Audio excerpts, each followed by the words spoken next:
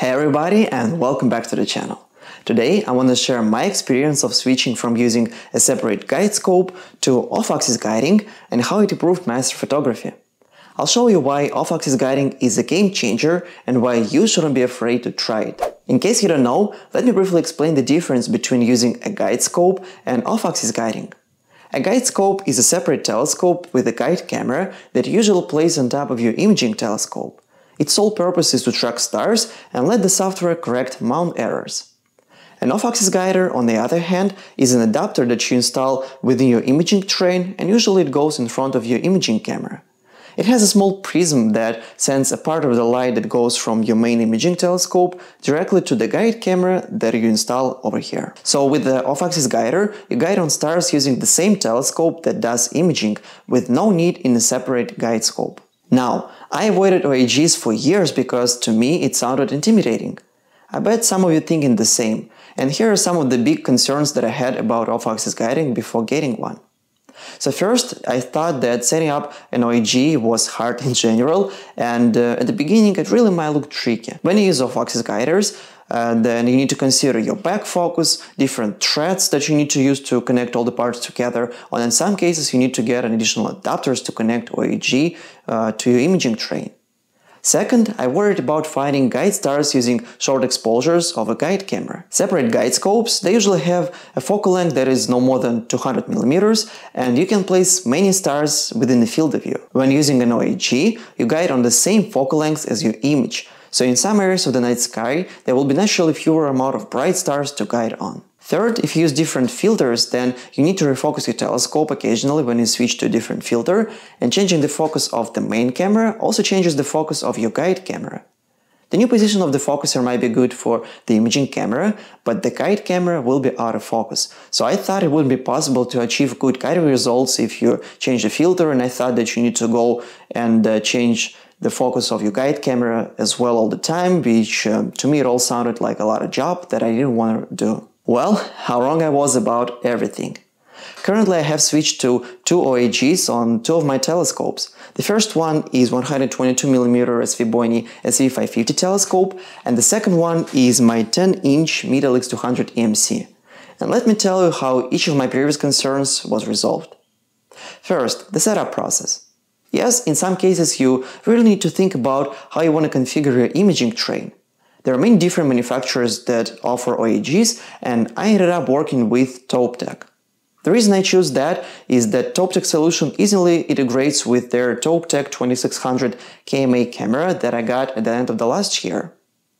What I like about ToupTek is that I use screws to connect the OAG within the imaging train, which I believe is much better compared to threads. Also, it seamlessly integrates with the filter wheel and I have two OAGs from ToupTek that work with both uh, a ToupTek filter wheel and a ZWO filter wheel.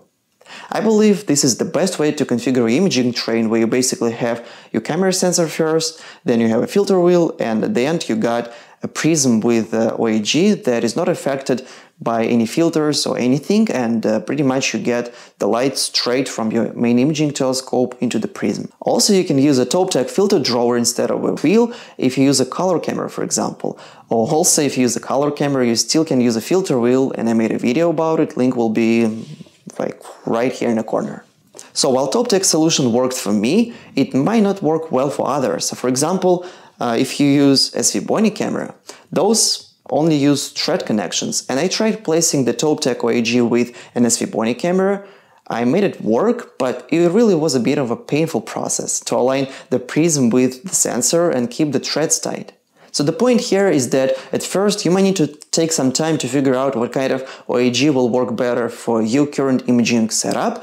And if you guys have any questions on that part, feel free to ask me in the comment section below. My second concern about locating guide stars disappeared after a few imaging sessions.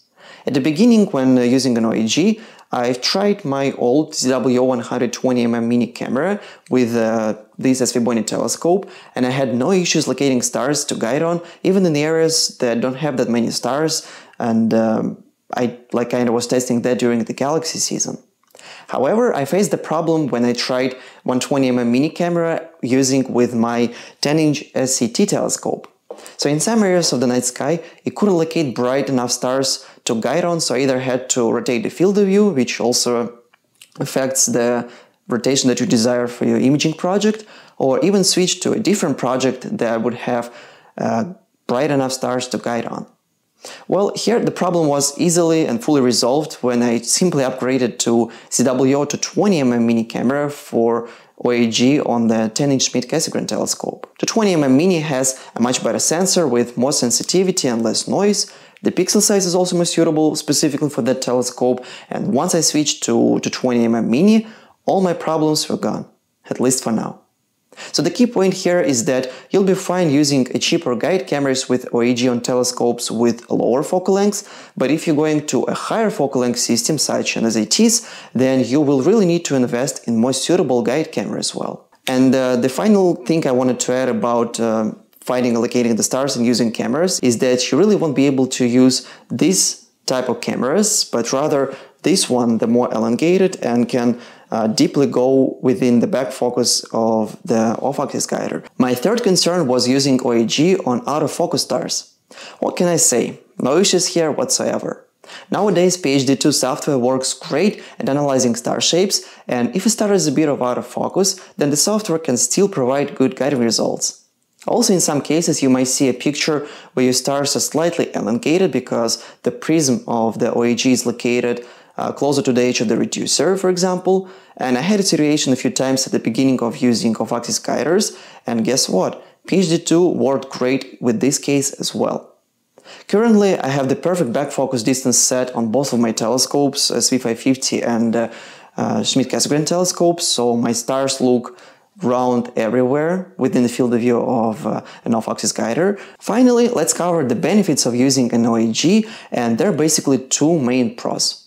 First, use a higher focal length compared to a guide scope, leading to more precise guiding. This means your guiding is more accurate, especially for longer focal length telescopes like Schmidt-Cassegrains, because OAGs, they track stars at the same magnification as your imaging, catching even tiny mount errors. Second, use the same light path for guiding and imaging, and this part is really important. So when using a separate guide scope, let's say you decide to use SCT and uh, you can install like 500 millimeter telescope on top of that to use as a guide scope. So you might have good guiding numbers below 1 arc seconds, let's say, but your images will have star streaks. Why is that? Well, because of the thing called flexure. Flexure is when your guide scope and main telescope bend slightly out of alignment, causing tracking errors. Even with great guiding numbers, this can make your stars look poorer with some streaks and uh, simply because two telescopes aren't perfectly synced. And this might not be an issue when you're using a small refractor telescope, but something that you would likely notice on higher focal length systems. To sum up, I've had great experience using an off-axis guider. It's not scary, it solves flexure, and with a modern gear, it's easier than ever before. So if you're also thinking about using an OAG for your imaging rig, then I highly recommend it.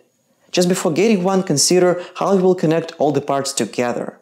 Another option would be getting a ZWO Duo camera as well that has an integrated guide chip, but that's a topic for another video. Talking about using a separate guide scope, it's still a good guiding option that you can easily use on lower focal length systems.